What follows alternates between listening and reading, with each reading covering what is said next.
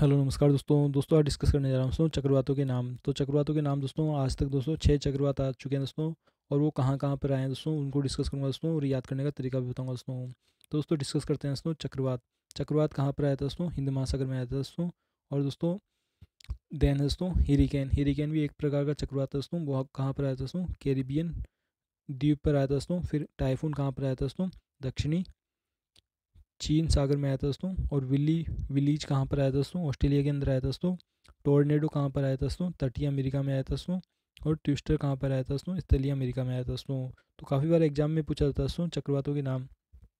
तो चक्रवात को अलग अलग नाम से बोलते हैं दोस्तों तो हिंद महासागर में बोलते हैं दोस्तों चक्रवात, केरोबिया में बोलते हैं दोस्तों हरिकेन, दक्षिण चीन सागर में बोलते हैं दोस्तों टाइफून, और ऑस्ट्रेलिया में विली विलीज, और तटीय जो अमेरिका है वहाँ पर बोलते हैं दोस्तों टोर्नेडो और दोस्तों जो स्थलीय अमेरिका है दोस्तों, वहाँ पर बोलते हैं दोस्तों ट्विस्टर दोस्तों। तो दोस्तों आशा करता हूँ दोस्तों वीडियो काफ़ी पसंद आया दोस्तों और सारे चक्रवातों के नाम भी आपने याद कर लिया होंगे दोस्तों।